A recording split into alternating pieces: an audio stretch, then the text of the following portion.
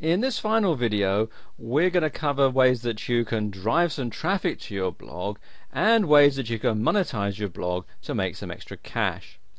If you have a website or a blog and you're not getting the hits that you feel your content deserves, then you'll need to take advantage of ways to drive traffic to your website or blog in order to be successful. And there are many methods available on the internet that will help your blog to generate more traffic and thereby make it more successful. This is especially true for those who are using affiliate marketing to generate income from their blogs. And the first way is to put a signature at the bottom of a forum posting or an email. You know, if you belong to any public forum, you'll be allowed a signature that is free for you to post. And this signature will be seen any time you post a topic or reply to an existing topic and you can put a link that will access your blog or web page directly at any time. Now, since public forums tend to generate a lot of traffic, it only makes sense to take advantage of this handy tool to generate traffic to your site. You can also add a small note telling the people on your forum what your link is to and what they will find there in order to get interested parties to your website or blog. Most email accounts also allow you a signature at the end of your message. Instead of putting the standard information such as your name and contact information, you can add your blog or website links as well, and this will get more people to see your links on a daily basis. Since you'll send out many emails in a week, and many who have a blog or website are sending out more than the average person, you'll get your links viewed by all the people in your contact list. And this is a step many do not consider when trying to generate traffic to their websites or blogs. You'll want to write original content articles that you can submit to directories that speak on the topic of your blog or the items offered on your website.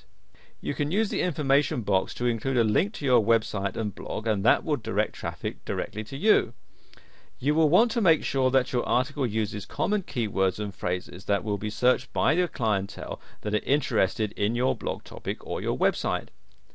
When potential customers or clientele do a web related search, your article will appear. They can then simply click the link that you've provided to give them access to your web page.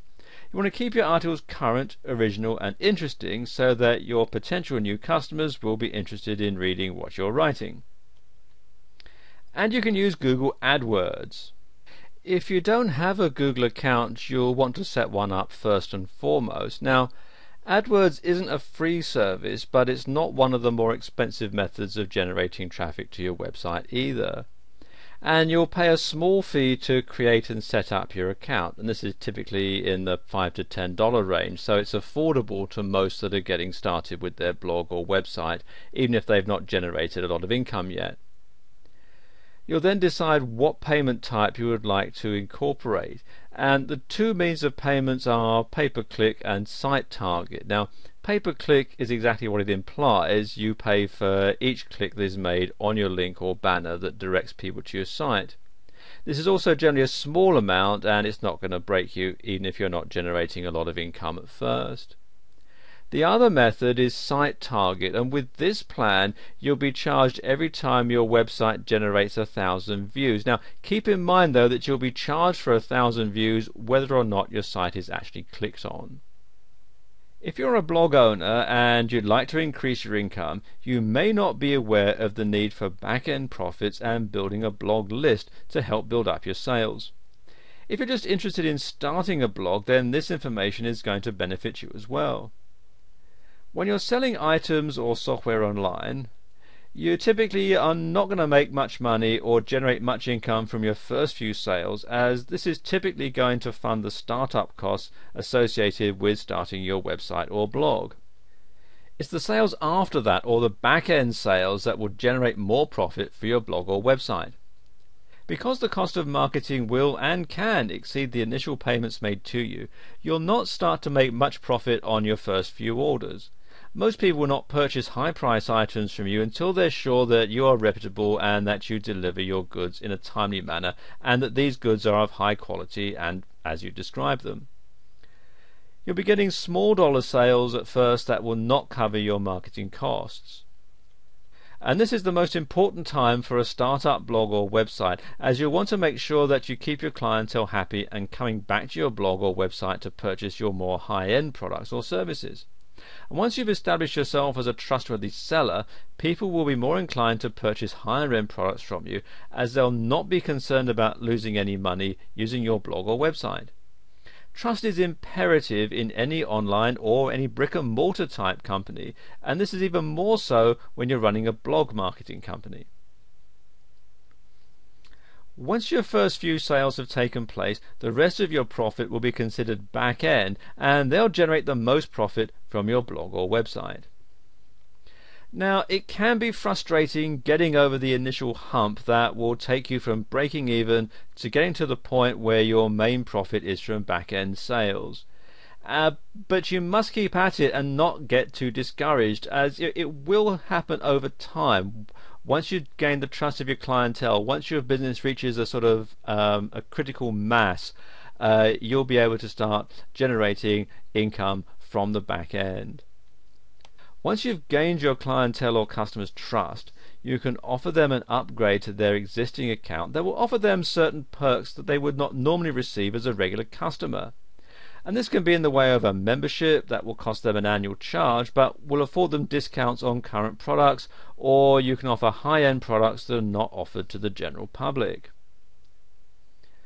Once you begin selling, you'll want to build an email list of your current customers and make sure that you keep them up to date on your current items for sale or on any promotions that you may be running. And you can begin to build an email list from friends and family. If you belong to a public forum, you can add these contacts to your email list as they may be interested in your products and services, and it may not be prudent for you to advertise directly on your forum as some forums don't allow free advertising. Once you begin to get a clientele base directly from your blog or website, you'll want to keep contact with these customers so that you'll be able to remain in their minds and they will be more likely to return to your site and purchase more products from you. When you're sending out promotional emails with free items, don't send out too many of these types in succession. You should instead stagger these emails with sales emails so that your customers uh, on your email list they don't always expect to get free items all the time as this is going to cut down your back end sales to a great degree. So by offering sale items with your promotions, you will be more likely to generate sales along with your free or sale items. Once you have the basics of setting up your blog, of finding a niche market, and learning to get article and blog post ideas, then you'll be ready to monetize your site and start some income flowing. By adding some affiliate products and services that are relevant to your niche and putting up some contextual advertising like Google AdSense or Yahoo Publisher, you'll give your visitors choices between what they want to buy and use to solve the problem. It's just a matter of finding the right products to match your website. Some good affiliate programs to start with include ClickBank, and this is the easiest and most popular digital products affiliate program out there, and you can find it at clickbank.com. Then there's PayDotCom, um, which you can find at paydotcom.com. You have to write it all out. And this is another digital product affiliate site that's growing in popularity and it's uh, integrated with your PayPal account. Then you've got Amazon.com and you can find books and audios relevant to almost any niche that you'd care to set up. And Amazon is one of the largest affiliate programs on the web with a wide assortment of products to choose from. And then there's Commission Junction, which you can hear at cj.com. And it's another biggie, and it has a ton of affiliate programs for some of the major brands. Now, these are just four, but there are many, many more out there that offer a wide variety of products and services that will help you make money from your website, in addition to any products or services that you're offering personally. Once you have one website and sales system set up, it's very easy to duplicate the same thing in other markets. So you might start out selling custom crafted sewing creations or custom cutlery.